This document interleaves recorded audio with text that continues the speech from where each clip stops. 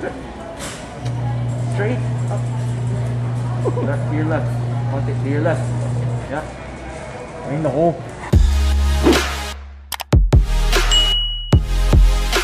Hey guys, welcome back to Making It Happen. So today I'm going to take you on a virtual tour of All Home, your one-stop shop for your home. Let's get started. So the moment you walk in, you know All Home cares about your safety as they have protocols in place such as contract tracing, temperature check, and alcohol. Today my boyfriend Inigo went with me because he has a few errands to run and I thought it would be perfect for him to check out what All Home has to offer too. Right when you enter, you can already see amazing selections of furniture. They had sofas, beds, and accessories. And over to the right is the kitchen section. And they had really good unique items such as plates, utensils, and aesthetic kitchen tools. They even had these cute cookie cutters. I wanted to get a fondue set, but he said no. Walking further in, you can already see all home selection of tiles, lighting. We even saw this cute lamp. and like the light collection they had, it looked perfect for a living or a dining room setup. Inigo noticed some patio floor tiles he wanted to get for the house, so we checked out all the other available colors. And amazingly enough, they had a lot of choices. All Home has a lot of tile selection and vinyl selection. People usually go for square vinyls like these, for their home, but, but I suggest going for these 15 by 90 ones as they look classier and nicer in the space.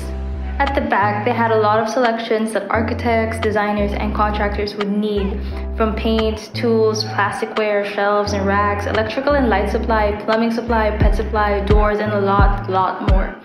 I really love their bathroom collections too, from toilets, showers, and even these really nice bathtubs. We went up to the second floor to check out what else they got and found more of their furniture, accessory, kitchen, bath, and to be honest, anything you need.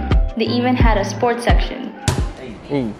Oh, oh, oh, oh, Hey. what I loved about the kitchen section upstairs is these collections of mugs. So cute. They also had these nice little hampers and baskets. Inigo wanted to look for a console table, so check out their cabinetry collection, so huge. So many choices and affordable too. We wanted a cute artwork for the walls and they had these cute paintings, framed art, and even mirrors. We spent a good 10 minutes choosing the right mirror, only to end up choosing a different one for buy one, take one. Next to the second floor collection of All Home was their AllDay supermarket. I love the interior of the place, it looked really nice and their selections were fully stocked with both local and international products. After the supermarket, we found a really nice plant for the house checked it out, and went back home.